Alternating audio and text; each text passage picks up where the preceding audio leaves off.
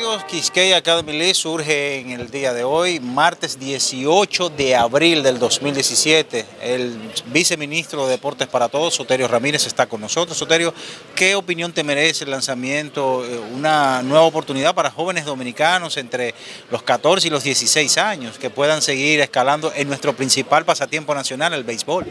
Bueno, gracias por darme la oportunidad de hablar en tu espacio y en representación del Ministerio de Deporte que dirige el licenciado Danilo Díaz. Eh, felicitamos a Quisqueya eh, Academy League por la iniciativa de tener esta, esta liga, ya que nosotros como conocedores del deporte eh, sabemos que en ocasiones ya el joven aquí en la República Dominicana, cuando tiene 17 años, ya se le comienza a poner las cosas difíciles para lograr sus sueños. Y eh, tener una plataforma con el nivel eh, que se está anunciando acá eh, servirá para el desarrollo y las oportunidades de esos jóvenes. Y nosotros como Ministerio de Deporte, que tenemos la responsabilidad de fomentar, de promover y de apoyar el deporte, nos sentimos felices cuando se toman iniciativas como esta.